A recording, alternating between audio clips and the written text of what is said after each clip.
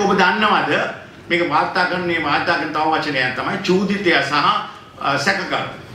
මතක තියාගන්න හැම පුද්ගලයෙක්ම අත්අඩංගුවට ගත්තාම ਉਹ චූදිතෙක් නෙමෙයි. ලියන්න එපා විත්තිකරු කියලා.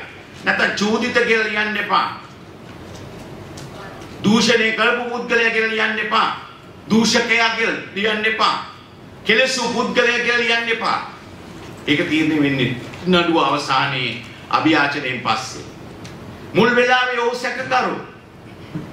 අනේ හොඳ සෙන්දර සැකකරුවෙක් මොහු සිංහල ජාතිය නැත්නම් මුස්ලිම් ජාති සංකරුවෙක් ඒව නෙමෙයි මම කියන්නේ.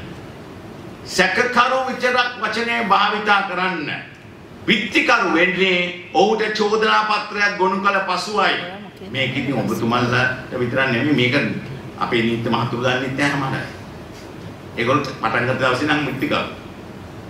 ඒ නිසා ඔබ ඉගෙන ගන්න.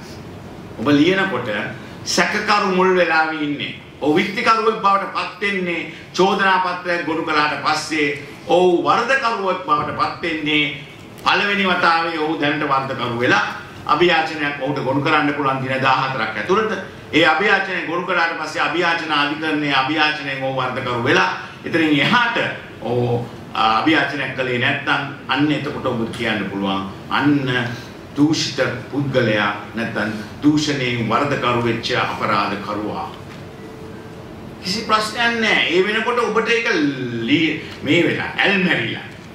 ඊට වැඩි හොඳ රස කරන්න තල් මරන්න ඒවා වාර්තා වෙලා. මේක වෙන්නේ ඒකනේ.